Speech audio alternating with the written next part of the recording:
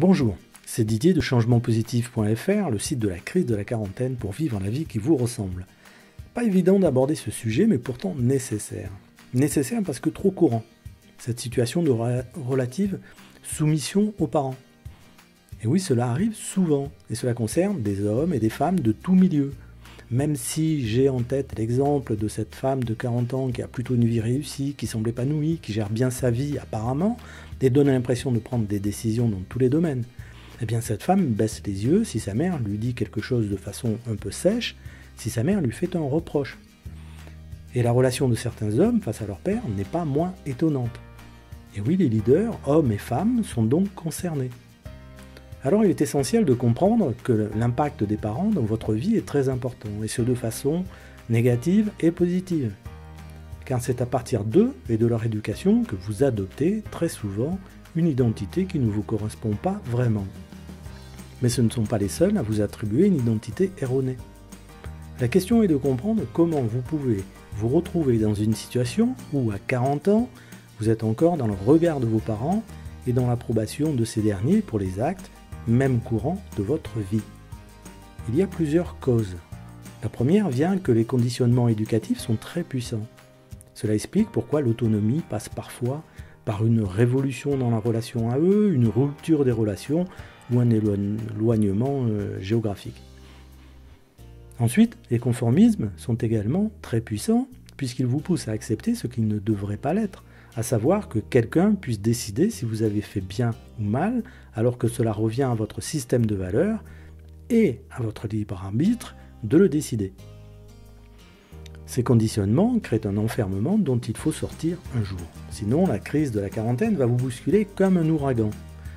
Bon, elle vous bousculera de toute façon et vous indiquera que vous êtes une personne unique, qui a sa vie entre ses mains et qui a le devoir de la vivre pleinement selon son mode de vie bien Une autre cause est le fait d'avoir idéalisé vos parents. C'est un grand classique.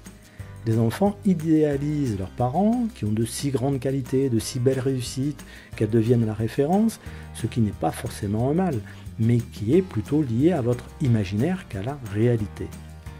On peut y voir une autre cause, ou bien conséquence, selon l'angle que l'on prend, c'est celle de rester enfant de ses parents toute sa vie.